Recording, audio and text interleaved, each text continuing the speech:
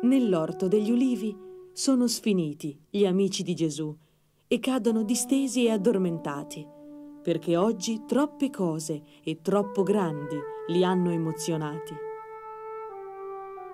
Gesù non può dormire e il suo cuore è sveglio, perché pensa a quello che dovrà presto accadere. E guarda i suoi amici che non possono capire e sono molto stanchi e riescono soltanto a dormire.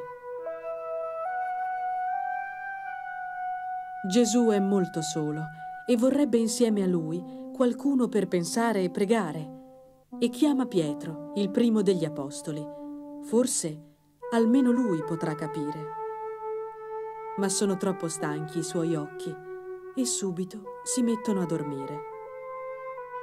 Rimane solo Gesù e dice al Padre, se tu vuoi, non farmi tanto soffrire, ma se tu vuoi, io tutto accetto quello che sta per accadere, per fare la volontà del tuo amore.